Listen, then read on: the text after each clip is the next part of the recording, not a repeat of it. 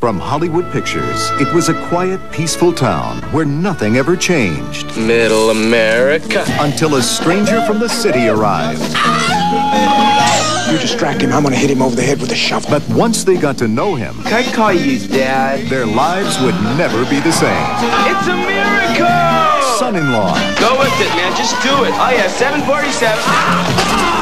rated PG-13. Sneak preview Sunday, June 20th. Check newspaper for showtimes.